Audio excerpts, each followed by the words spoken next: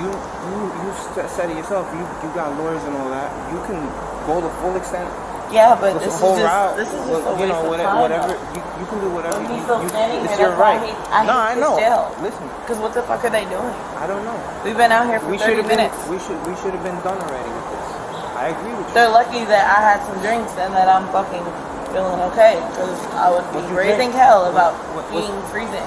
What kind what kind of drinks did you have? I drank Tito's. Tito's. Yeah, trying to lose weight. Tito's. Yeah.